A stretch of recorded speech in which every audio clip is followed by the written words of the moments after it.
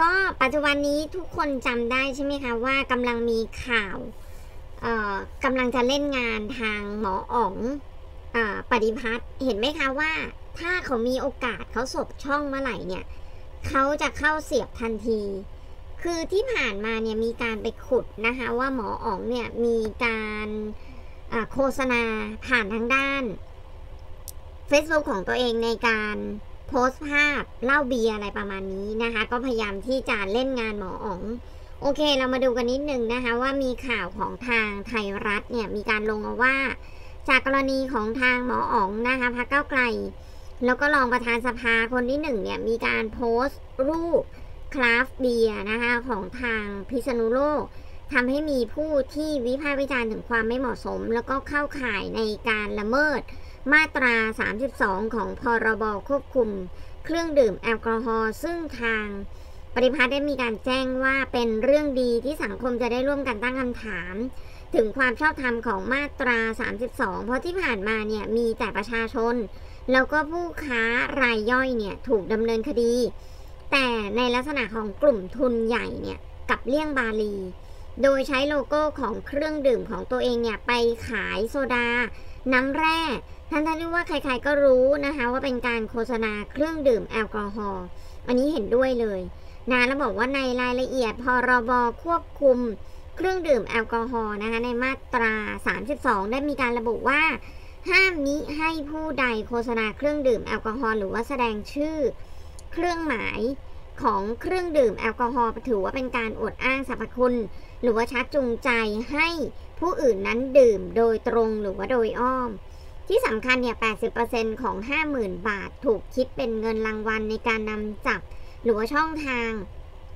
ให้กับบางคนเนี่ย ได้วิ่งหาหลักฐานเพื่อสร้างรายได้เป็นอาชีพด้วยซ้ำด้วยการตีความอย่างกว้างขวางจนสามารถนำใช้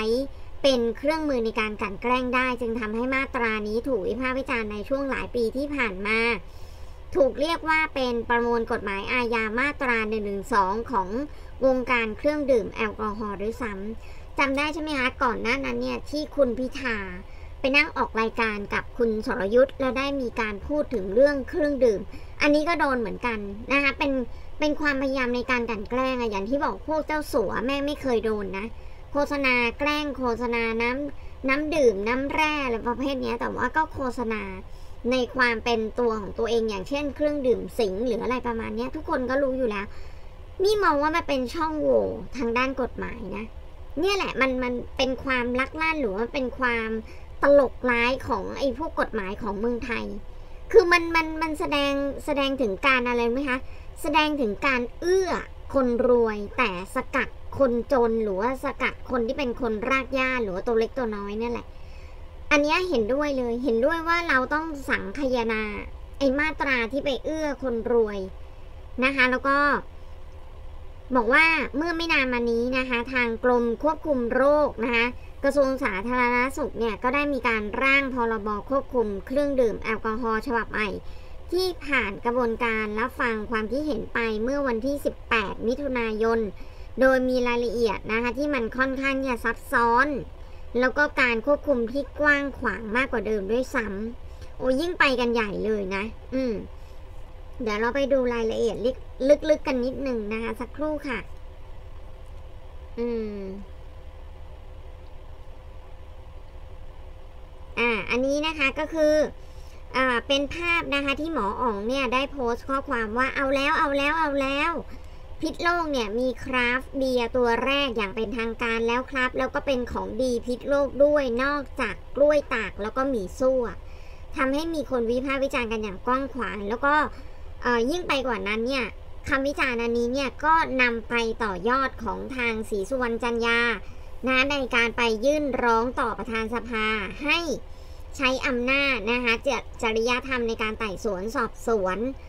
จะทำให้เอ่อตำแหน่งของรองประธานสภาเนี่ยได้หลุดว่างั้นเถอะว่าไม่เหมาะสม ก็เลยทำให้หมออ๋องเนี่ยลุกขึ้นสู้เลยนะคะบอกดี จะได้มาพิสูจน์กันไปเลยนะคะว่าไอ้มาตรา 32เนี่ยมันโอเคหรือเปล่ามันดีหรือเปล่า คุณเอื้อเจ้าสัวหรือเปล่านะก็ฟาดกันไปเลย แล้วก็ อืมแล้วก็บอกว่าเนี่ยส่วนใหญ่เนี่ย พอมันมีปัญหาขึ้นมาแบบนี้ไอ้พวกตัวเล็กตัวน้อย นะคะก็คล้ายๆว่ายอมจ่ายจ่ายแล้วก็จบ แต่แล้วก็มีบางคนเนี่ยลุกขึ้นสู้นะคะก็คือยอมที่จะขึ้นมาต่อสู้กับไอ้กฎหมายอันนี้นะคะแล้วก็ไปพิสูจน์ก็ว่ากันอีกทีหนึ่งนะที่ผ่านมาเราก็เคยพูดนะว่าทางประชาประชาชนเบียอะไรนั่นนะเขาก็มีการลุกขึ้นสู้ด้วยเหมือนกัน ก็เนี่ยแหละ เราตลอดเวลาเรามีความรู้สึกว่ามันมันน่าเบื่อมากเลยนะกับไอ้มาตราที่มันเหมือนกับคล้ายๆ ว่ามันเอื้อ ให้กับคนตัวใหญ่อะส่วนคนที่เป็นตัวเล็กเนี่ยก็โดนทำร้ายนะเดี๋ยวเราไปดูมาตรานี้นิดนึงเขาบอกว่าอย่างเช่นนะคะมาตรา 31 อย่างเงี้ยห้ามดื่มเครื่องดื่มแอลกอฮอล์นะคะในช่วงเวลาของการห้ามขายก็คืออ่ากี่โมงอะหลังเที่ยงคืนไป หลังเที่ยงคืนจนกระทั่งถึง 11โมงเช้านะคะแล้วก็บ่ายสองจนกระทั่งถึง5โมงเย็นฝ่าฝืนเนี่ยมีการปรับ 5,000 บาท นะคะ ส่วนเจ้าของร้านเครื่องดื่มนะฝ่าฝืนเนี่ยปรับ 30,000 บาท ต่อมามาตรา 32 นะคะ ก็คือห้ามโฆษณาห้ามนำมาตัดต่อดัดแปลงข้อความนะก็คือโดนจำคุกไม่เกิน 1 ปี หรือว่าปรับไม่เกิน 5 0 0แสนบาท หรือว่าทั้งจำทั้งปรับ แล้วบอกว่าห้ามผู้ใดให้การอุปถัมภ์หรือว่าสนับสนุนนะคะในลักษณะอย่างหนึ่งอย่างใด เช่น การสร้างภาพลักษณ์ต่อเครื่องดื่มแอลกอฮอล์ 2. ส่งผลหรือว่าอาจจะส่งผลเสียต่อนโยบายการควบคุมเครื่องดื่มแอลกอฮอล์ 3. โฆษณาเครื่องดื่มแอลกอฮอล์ 4. ส่งเสริมแล้วก็การบริโภค เครื่องดื่มแอลกอฮอล์ด้วย ถ้ามีการฝ่าฝืนก็คือจำคุกไม่เกิน 6 เดือนหรือว่า ปรับไม่เกิน 5 0 0แสนบาท แล้วก็ทั้งจำทั้งปรับหรือว่ากรณีของการกระทำ ของผู้ผลิตหรือว่าผู้นำเข้าเครื่องดื่ม ก็นั่นแหละล่อไปถึงจำคุกไม่เกิน 6 เดือน หรือว่าปรับไม่เกิน 1 ล้านบาท หรือว่าทั้งจำทั้งปรับ ถ้ายังมีการฝ่าฝืนอีกก็มีโทษปรับอีกวันละ 50,000 บาท นอกจากนี้ยังห้ามผู้ใดเผยแพร่กิจกรรมหรือว่าข่าวสาร ประชาสัมพันธ์กิจกรรมดังกล่าวนะคะอืมคือตีความได้กว้างมากอะ่ะ นอกจากนี้ยังมีเลยเถิดไปถึงขนาดกรณีของการประชาสัมพันธ์ที่ไม่ได้เป็นการบริจาค หรือว่าช่วยเหลือตามหลักมนุษยธรรม ซึ่งอาจจะเป็นการผิดกฎหมายได้หรือไม่นะคะเห็นไหมก็คือมันกว้างอะมันกว้างไปเรื่อยๆ แล้วก็มาตรา 34 นะคะก็คือสามารถที่จะเพิ่มอำนาจของเจ้าเจ้าพนักงานเจ้าหน้าที่ในการขอดูเอกสารบัตรประชาชน สามารถเข้าไปในสถานที่ขายเครื่องดื่มแอลกอฮอล์เพื่อเข้าไปตรวจสอบ คือมิมองว่าอะไรรู้ไหมอันเนี้ยชัดเจนเลย คือเอื้อให้กับเจ้าหน้าที่ตำรวจเนี่ยสามารถเข้าไปรีดไถได้ อืมถูกไหมเข้าไปรีดไถเหมือนที่เราเห็นอะเวลาที่ไหนเปิดปิดช้าหรืออะไรเงี้ยพวกเนี้ยมอไซค์เข้าไปจอด คือเอาง่าย ๆ นะมีเคยอยู่ในเหตุการณ์ นั่งอยู่แล้วร้านเนี่ยมันมันเพิ่งปิด ตำรวจลอนมาเลยจ้า แมงกะไซนะ แมงกะไซตำรวจนั่งซ้อนมาสองคนเลย แล้วเจ้าของร้านก็คือออกไปคุยหน้าร้าน เขาก็เหมือนคล้ายๆว่าแบบแบมืออะว่าถ้าคุณไม่ให้มีปัญหาคุณก็จ่ายมา ซึ่งตอนนั้นปิดแล้วนะ ร้านเนี่ยปิดแล้ว แต่ไฟยังเปิดอยู่ เพลงก็ปิดแล้ว ก็นั่งเคลียนั่งคุยเออนั่งนั่งเคลียนั่งคุย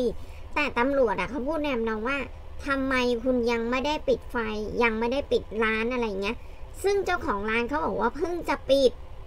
ก็คือเนี่ยดับอ่าเขาเรียกว่าอะไรดับไฟหน้าร้านแล้วแต่ว่าร้านเนี่ยมันยังเปิดอยู่ เพราะว่าลูกค้ายังอยู่ไงยังยังเขาเรียกว่ามันเป็นช่วงของการบอกลาบ้างหรือว่าเอ่อนั่งนั่งเคลียอะไรต่างๆอะถูกไหมเพราะร้านมันเพิ่งปิดไงแต่ว่าตำรวจไม่ยอมไงคือเขามองว่าเฮ้ย คุณต้องไล่ลูกค้าออกไปนอกร้านได้แล้วอะไรเงี้ยซึ่งมันไม่ใช่ แต่มันเป็นการรีดไถชัดเจนอะซึ่งเจ้าของร้านก็เคลียร์แล้ว แต่ว่าตำรวจก็บอกว่าถ้าถ้าจ่ายก็คือจบ แต่ถ้าไม่จ่ายเนี่ยเดี๋ยวมีเรื่อง เห็นไหมคะว่าเนี่ยแหละคือการรีดไถอย่างชัดเจนเลย แล้วตอนนั้นเนี่ยที่เรานั่งอยู่ในเหตุการณ์เนี่ยเราก็ช่วยยืนยันว่าเนี่ยร้านเขาปิดแล้ว แต่เราเนี่ยยังนั่งคุยกันอยู่ยังติดลมอะไรอย่างเงี้ยก็เนี่ย มันเป็นช่องทางในการทำมาหากิน ซึ่งเจ้าของร้านนี่หัวเสียมากเลยนะ แล้วก็พูดแนมน้องว่า คือเนี่ยมันมันมันหาทางมารีดไถอย่างเงี้ยตลอดเลย อืมจนบางครั้งเนี่ยแบบเจ้าของร้านเขาก็ลำบากใจไงถึงขนาดที่ว่าพอใกล้เวลาเนี่ยก็รีบที่จะบอกลูกค้าแล้วแหละว่าขออนุญาตที่จะปิดไฟก่อนนะ ไม่อย่างนั้นเนี่ยเดี๋ยวมันก็มารีดไถอีก เนี่ยแหละคือคือสิ่งที่มันเกิดขึ้นในในประเทศไทยมันจะเป็นแบบนี้ นะคะก็แสดงว่าเดี๋ยวก็ต้องสู้กันอีกอะต้องสู้กันอีกว่าเออจะผลผลมันจะออกมาเป็นในลักษณะแบบไหน อืม ก็ต้องว่ากันไปนะคะ เดี๋ยวเราไปดูเดี๋ยวเดี๋ยวเราขออนุญาตไปดูที่หมออ่องนิดนึงนะคะ ว่ามีอะไรเพิ่มเติมหรือเปล่า อืม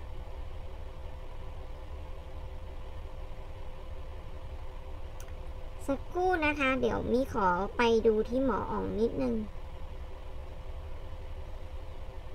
บางทีก็เบื่อนะ กฎหมายไทยมันมัน อืม เดี๋ยวเราไปดูที่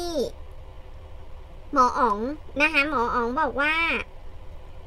เอ่อไม่ไม่เป็นห่วง แล้วก็ทางพิธาก็สำทับนะคะ บอกว่าหมออ๋องเนี่ยไม่ได้มีเจตนาอะไรเลย บอกว่ายังไม่ได้คุยกับทางหมออ๋อง หมออ๋องโดยตรง ซึ่งเป็นเรื่องเกี่ยวกับมาตรา 32 แล้วก็ทางหมออ๋องเนี่ยก็ไม่ได้มีเจตนาที่จะโฆษณาแต่อย่างใด แต่ว่าเป็นลักษณะของการภาคภูมิใจในผลิตภัณฑ์ของชาวพิษณุโลก แต่อย่างไรก็ดีเนี่ยเดี๋ยวก็คิดว่าทางหมออ๋องก็จะออกมาชี้แจงตามปกตินะคะ แล้วก็เดี๋ยวเราไป เดี๋ยวนะมีหาเพจของหมออ๋องไม่เจอ ปะดิพัฒน์ใช่ไหมเอ่ย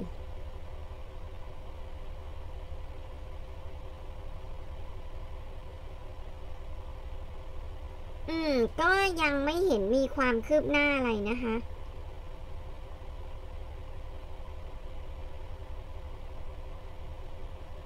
อืม ยังไม่ได้มีอะไรนะคะ แต่ว่าได้พูดคุยถึง ประเด็นของการโหวตก็แค่นั้นเอง ก็เดี๋ยวหลังจากนี้นะคะ ก็คงจะมีความคืบหน้าของหมออ๋องว่าจะสู้ในลักษณะของศรีสุวรรณอย่างไรนะคะในการออกไปฟ้องร้องหรือว่าไปร้องเรียนนะคะนี่ก็เป็นส่วนของทางหมออ๋อง